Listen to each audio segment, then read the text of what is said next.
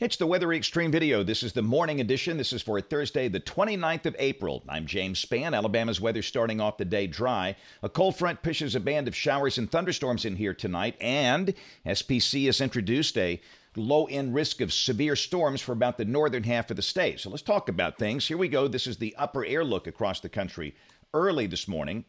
We've got uh, trough hanging back over the southwest United States, over parts of West Texas.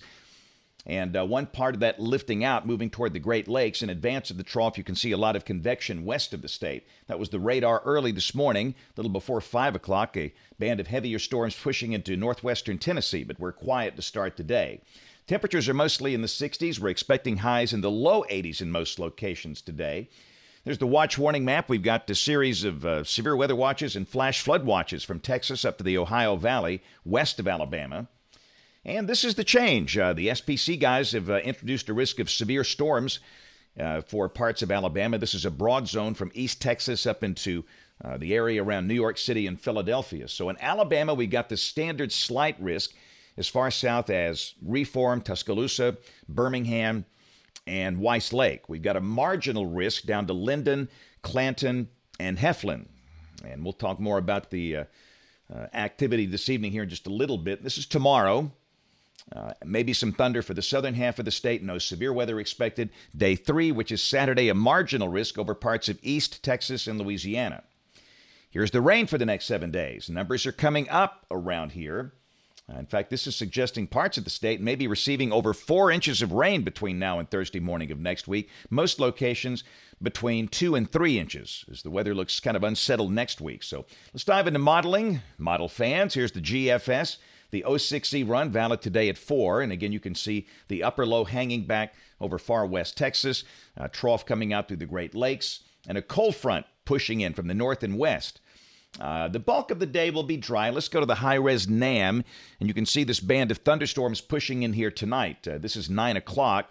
Uh, those storms probably entering the far northern part of the state, maybe 6, 7 o'clock this evening.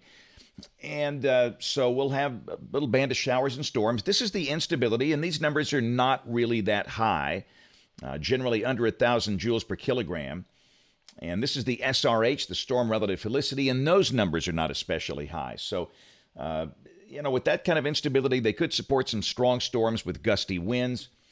Uh, the chance of a tornado is awfully low, not maybe zero, but very low. But the main issue would be some gusty winds, maybe some small hail. This is just after midnight tonight, 1 a.m. The uh, band of showers and storms a little south of Interstate 20. And then by tomorrow at 7 o'clock, they're pretty much out of here. So uh, I'd say the chance of stronger storms maybe 6 to midnight tonight. And uh, the main threat will be from gusty winds, maybe some small hail. And again, the chance of a tornado pretty low. This is during the day tomorrow, 4 o'clock, back to the GFS, and this is suggesting maybe a few showers over the southwestern part of the state, but really for the northern half of Alabama, tomorrow looks dry. Uh, the sky becoming uh, mostly sunny with a high in the upper 70s. Should be a pretty nice day. I, I think any rain would be ending for the northern half of the state during the pre dawn hours. Saturday, a nice day, mostly sunny. The high will be around 80. So the bottom line is tomorrow and Saturday looking very nice, and then Sunday, moisture comes back and we'll bring back the chance of a few scattered showers, maybe a thunderstorm by afternoon. The high Sunday will be again around 80, and then next week looks a little more like summer. Uh, the air will be moist and unstable. This is Monday, Tuesday, and Wednesday. We'll have a chance of showers and storms each day. They will be somewhat scattered in nature. They will be most active during the peak of the daytime heating process during the afternoon and evening hours. And there's going to be a lot of instability next week, so they could be, uh, you know, strong, maybe severe at some point. But trying to define that window at this point is pretty tough to do. So. Uh, a chance of showers and storms each day, Monday through Wednesday. Here's a week from today, Thursday the 6th, the deep trough forming over the east. And again, this is suggesting cooler air with a chance of uh, showers. Highs may be dropping in the low 70s. We'll go out 10 days. This is Saturday, May the 8th. The zonal flow, and that looks like a quiet day as that weekend begins. Rain for Birmingham off the European ensemble, the mean about three inches between now and the 14th of May, but some of the members run up to seven or eight inches. We note that.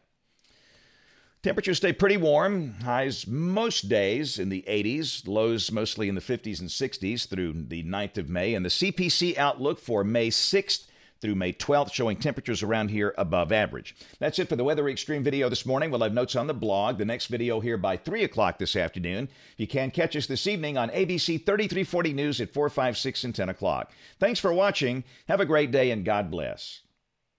Hey, this is James Spann. I think one of the best parts of my job, getting to do weather programs in schools. During regular times, I'm in a school once or twice a day teaching students, mostly in elementary schools, things about weather and science. It's a really great part of my job. In fact, if I wasn't a television meteorologist, I would be a third grade science teacher. But one thing I've noticed over the years some children, not all, but some, develop a genuine fear, a phobia of weather, especially thunderstorms, and tornadoes. To offset that, I commissioned a couple of creative members of my family to write a series of children's books about weather. And the first one is out Benny and Chipper Be Prepared, Not Scared. Your kids will absolutely love Benny the Bear and his best pal, Chipper the Beagle Dog. It's a really good read about thunderstorms and tornadoes and how it's okay to be a little afraid, but you don't have to be really afraid.